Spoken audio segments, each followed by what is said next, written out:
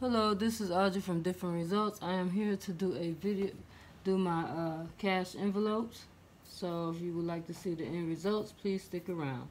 So here we have, this is what I show the bank teller I, I of my grocery list.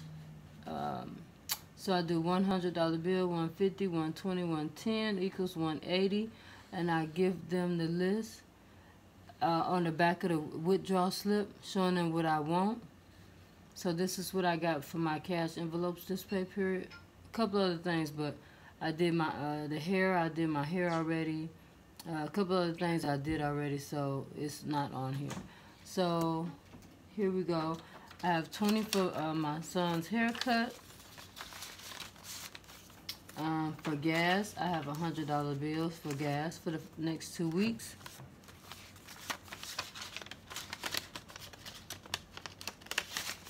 I have a hundred dollars for fast food. I went up on fast food because the kids are out of school.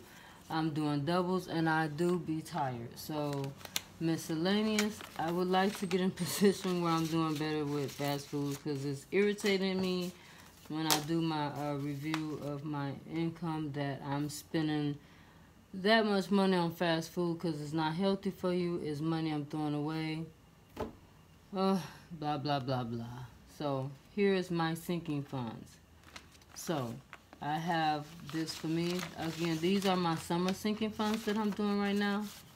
So this is for me. This is for my uh, sports. This is 25. No, no, no. This is for uh, my daughter for her birthday. This is for sports. That would be 20. 20, 30, 35, 36, 37, 38. So that would be $38 for sports. That would be $88 for my son. So 2, 4, 6, 8, 1, 2, 3, 4, 5, 6. $2. I owe him $2. Uh,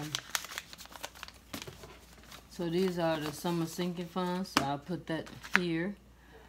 This is the groceries. So for groceries, I got $180. So that's, no, I didn't get 180 Yes, I did. So that's 150, 1, 2, 20, 40, 60, 70, 80. So that's 180 for groceries. And so these are my cash envelopes and then so I didn't get the uh, lockbox to put this in but this is my uh, cash envelope for the uh, for the first pay period of June. And so this is the end results. I will see you in two weeks for my next cash envelope and my uh, sinking funds. Have a great evening